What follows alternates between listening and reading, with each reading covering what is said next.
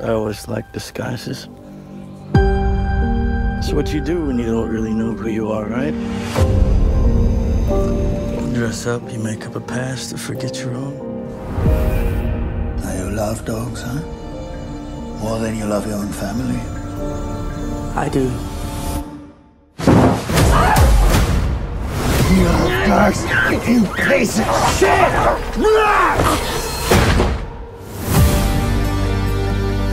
Did you know anyone else? Somebody that could show you some attention or affection? A child takes affection where you can get it. They're my babies. As far as I can tell, they only have one flaw. They trust humans.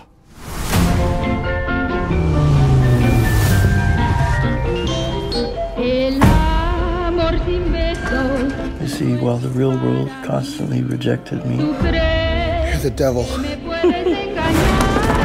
I'm sending you back to hell. I adapt.